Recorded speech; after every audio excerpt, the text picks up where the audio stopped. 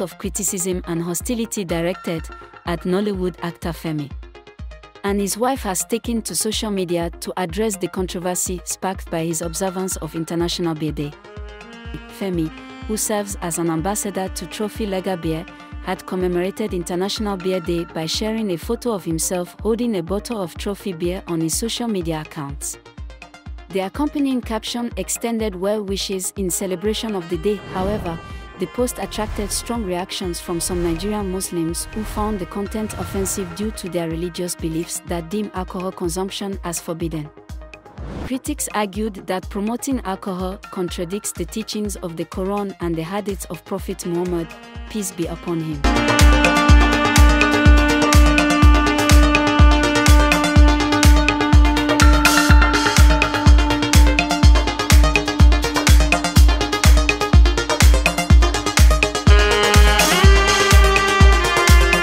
Amidst the influx of negative comments, Femi's wife decided to address the issue directly.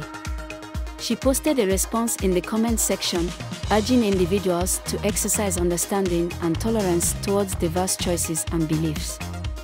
His wife emphasized that Femi is an actor with a diverse audience and that his work is not exclusively tailored to any specific group, Muslim or otherwise. Our response aimed to diffuse the tension and encourage a more civilized discourse. She wrote,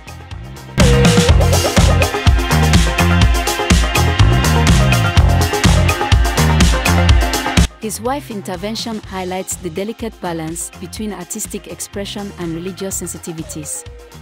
The incident underscores the broader conversations taking place within society about cultural diversity, respect, and the role of public figures in navigating these sensitive matters.